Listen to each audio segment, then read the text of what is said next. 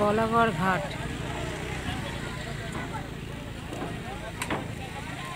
সরস্বতী পুজোর দিন কি ভিড়?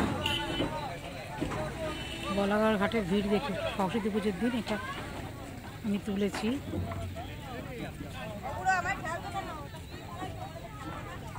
প্রত্যেক দিনই প্রায় এত ভিড় থাকে এই ঘাটে।